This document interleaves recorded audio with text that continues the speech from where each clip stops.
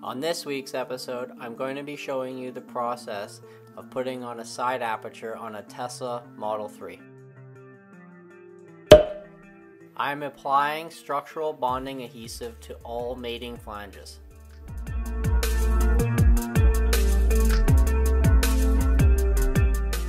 Before installing the panel, I put seam sealer on all the foam dams.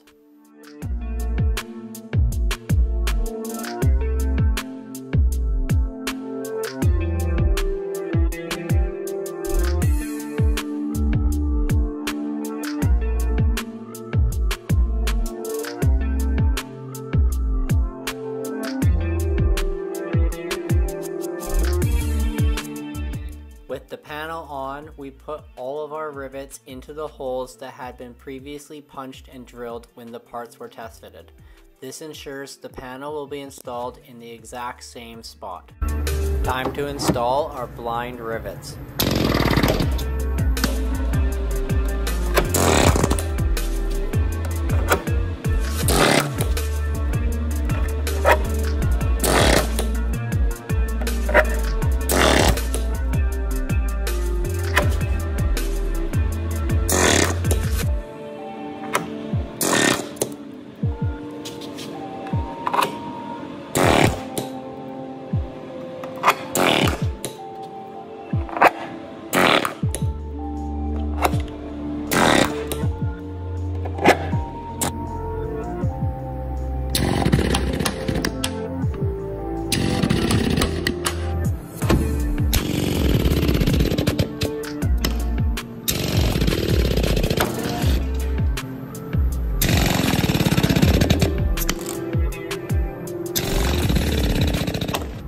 Time to install the flow formed rivets.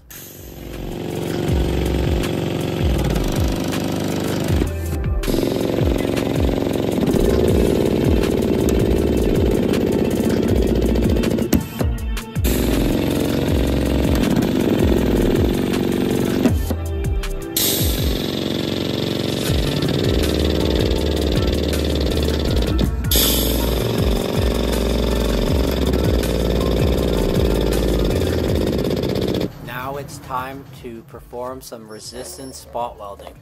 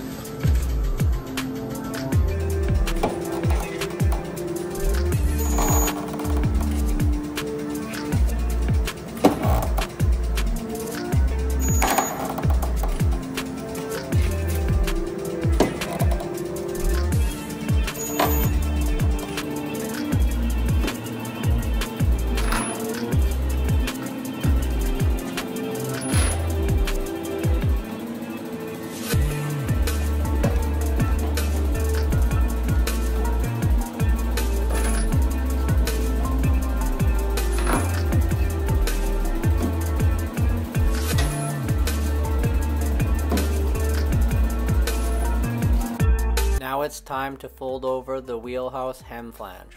I like to use a rubber dolly to prevent damage to the outer panel.